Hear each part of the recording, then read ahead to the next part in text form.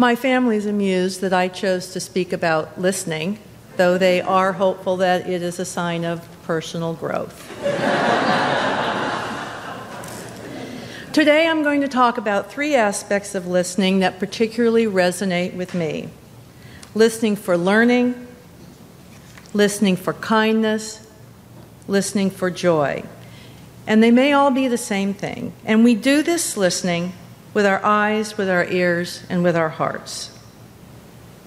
In Reverend Thom Belote's class on sermon writing this past spring, I learned that what I'm going to share with you today is a sermon of personal journey. Recently, my brother Jesse sent me a link to Destin Sandlin's YouTube program, Smarter Every Day. This link being for the backward brain bicycle. Sandlin, who actually is a rocket scientist, described the day the welders at Redstone, who he says like to play tricks on the engineers, called him down to ride a bicycle on which they'd made only one slight adjustment. We've all heard it's like riding a bike, meaning once you know how, you'll always be able to ride a bike. But with the one small adjustment, Sandlin could not ride the bike without falling off or falling over. The adjustment was simply adding gears at the juncture where the handlebars meet the post that controls the front wheel. Normally, when a bike rider turns the handles to the right, the wheel turns to the front wheel turns to the right. However, with this adjustment, when the handlebars were turned to the right, the front wheel turned to the left.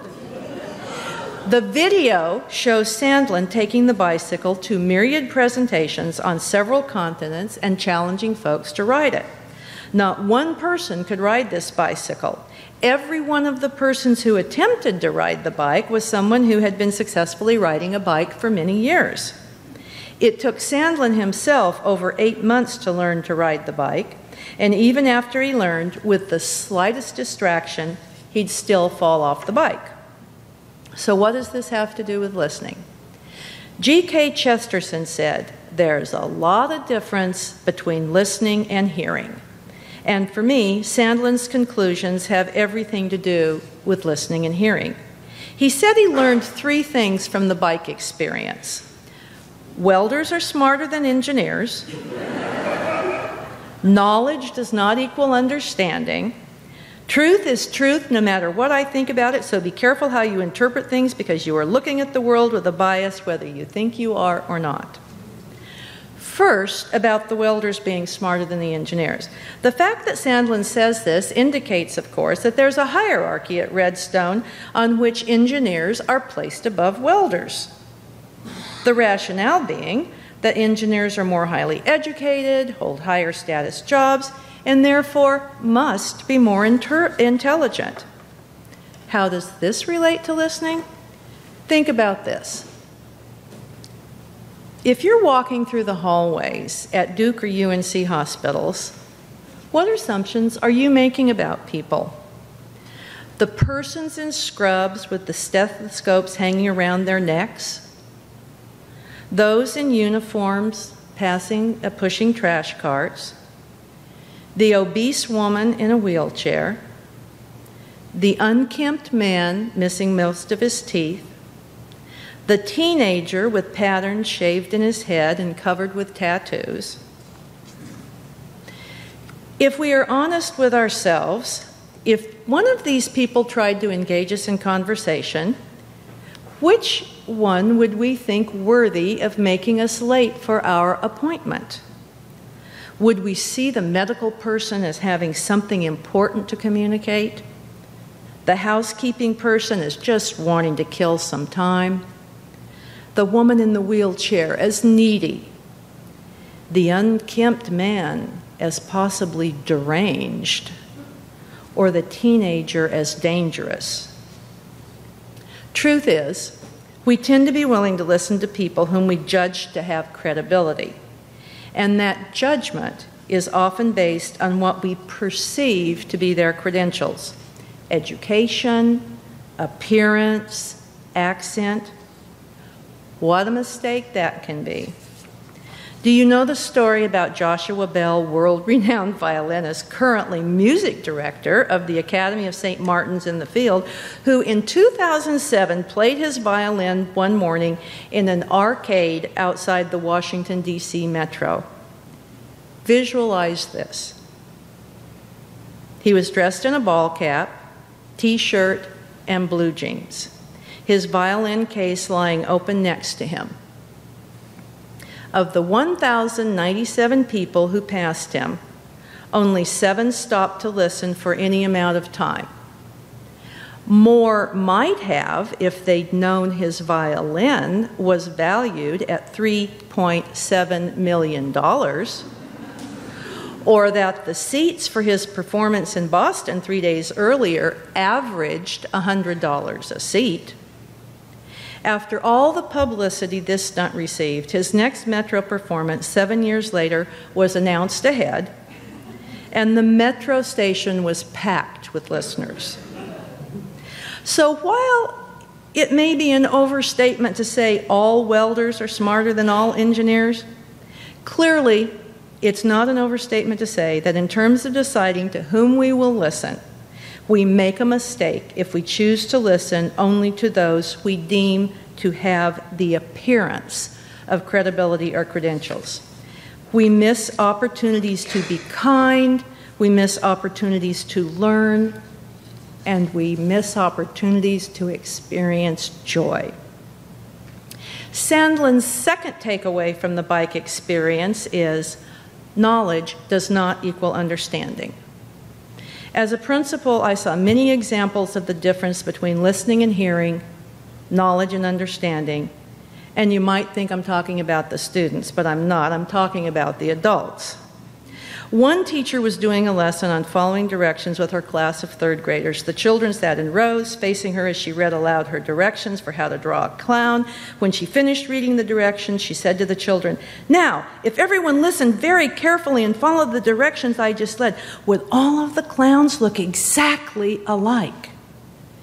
One little guy could barely contain himself, raising his hand, wiggling all over, and the teacher called on him. She repeated the question Would all of the clowns look exactly alike? And he said, No. The teacher looked totally nonplussed and said crossly, Well, they certainly would if everyone listened and followed my directions. But of course, it was the student that was correct. On another day, I observed another teacher doing a reading lesson with her second graders. She read the title of the book to them, It Happened on a Ranch, and asked, now, based on the title of this book, what do you think it'll be about? Another little guy, barely able to stay in his seat, was called on. Giraffes, he said. It'll be about giraffes. But this teacher said, Tell us why you think it'll be about giraffes. And the child shouted, because I saw a show on TV last night and it was about a ranch in Africa and they had giraffes. And while there were no giraffes in this book, the wiggly little guy's answer was absolutely on target and demonstrated a good grasp of thinking and reasoning skills for a, sec- for a second grader. The difference between what these teachers did with and to their students are major. The first teacher knew what the child said, but she didn't understand his response. She might have understood had she asked him, Tell us why you think the clowns won't look exactly alike. Given him the time to respond and listen closely enough to hear his thinking. I'll tell you, that child didn't raise his hand again in the class during that lesson. And when I talked to the teacher after the lesson, it became clear that was, she was so predisposed to judge this child based on his background and race poor, black, bussed from a housing project that it was unlikely she would ever be able to understand his true abilities.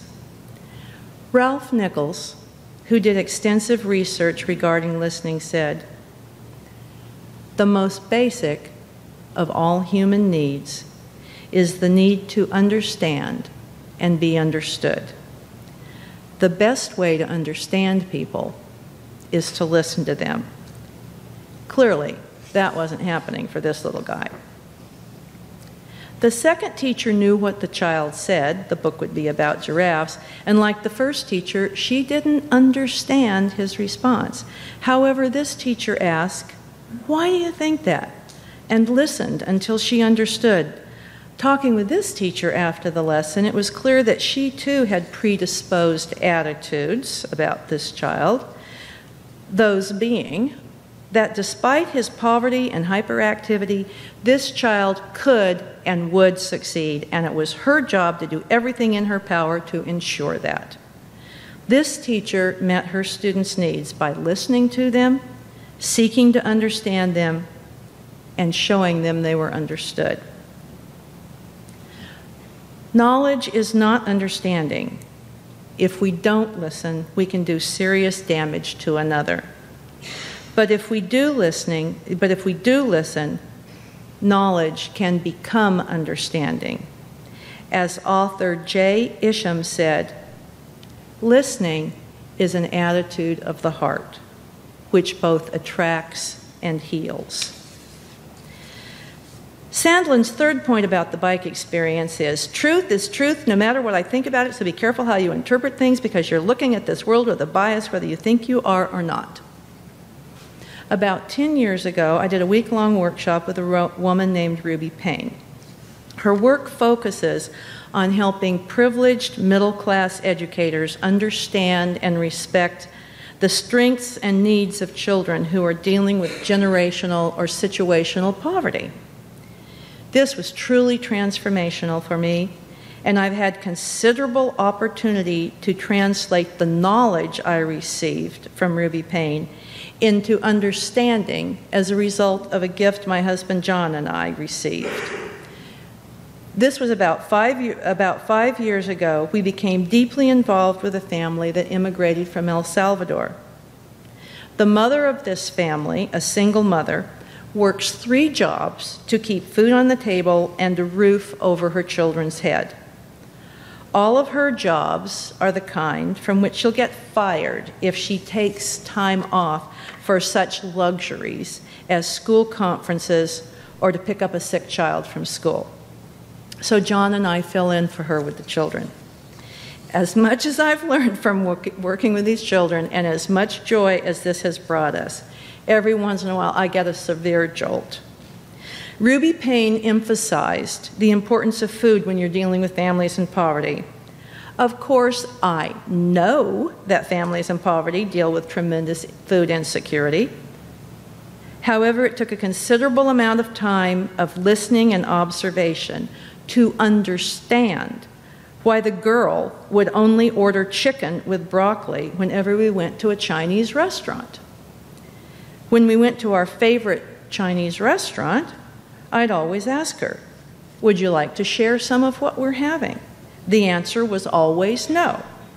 So I judged that she was a picky eater. That was until we started bringing along her 13 year old brother who will eat anything that's not nailed down. After watching her brother, the girl would start with a small taste, then ask for a helping. The understanding finally came to me. When you have a very limited amount of money to spend on food, you only order food you know you'll like because if you don't like it, you're stuck with it. You can't afford to leave it and order something else. If you don't like it and you don't eat it, you leave the table hungry. And if you leave the table hungry, you may be hungry for a long time because you can't be sure when there's going to be something on the table again. Yes, Truth is truth no matter what I think about it, and I do need to be careful how I interpret things. Because I am looking at the world with my white, middle class, privileged bias, whether I think I am or not. And I do know that only through listening can I hope to move toward understanding.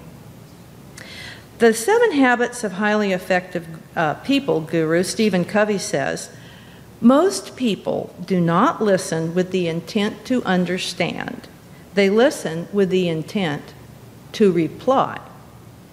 When my dad began to have severe hearing loss and went to Stanford University Hospital Hearing Clinic, he told me the first thing he was taught was to give his full attention to whomever was speaking and not think about what he was going to say in reply.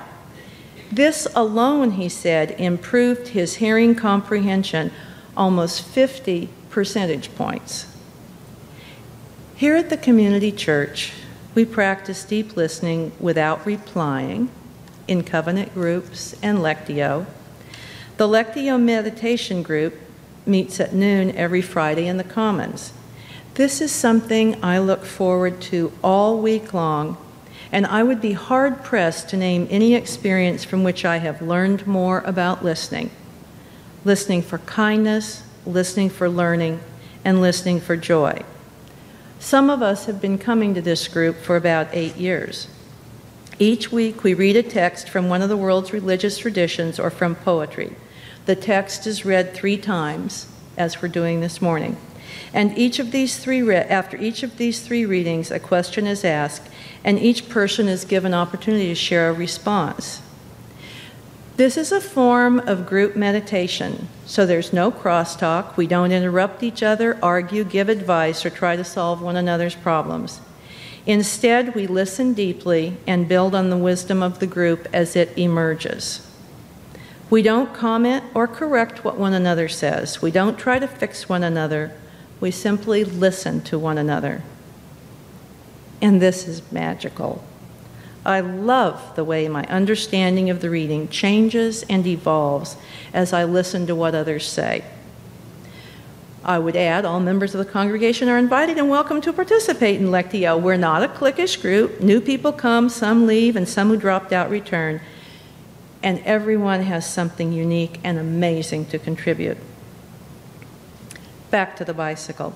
Remember when you first learned to ride a bike, the sense of power at having learned this very big girl or big boy thing to do, the exhilaration that you felt when your mom wasn't looking and you went down the hill so fast with the air brushing past your ears you couldn't hear and you felt as if you were flying? For me, the understandings and insights and epiphanies that come during the times I truly listen to another person give me the same sense of exhilaration. However, just as with riding a bike, I need to practice on a regular basis so I don't get rusty and fall over. Finally, I want to leave you with seven points made by researcher and listening legend, the late Dr. Ralph G. Nichols. The most basic of all human needs is to understand and be understood. His second point it's almost impossible to hate a person whom we fully understand. Third, the best way to understand people is to listen to them. Fourth, we are at the mercy of those who understand us better than we understand them. Five, when people make a decision, it is for their reason, not ours. Six, the wise listener is attentive, non evaluative. He asks only unslanted questions and praises those statements by an adversary which he can honestly praise. And number seven, we must face with courage the fact that when we succeed in hearing a person out, our own position may become modified. And I close with this quote attributed to the Greek philosopher Zeno of Citium We have two ears and one mouth, so we should listen more than say. Please stand as you are able and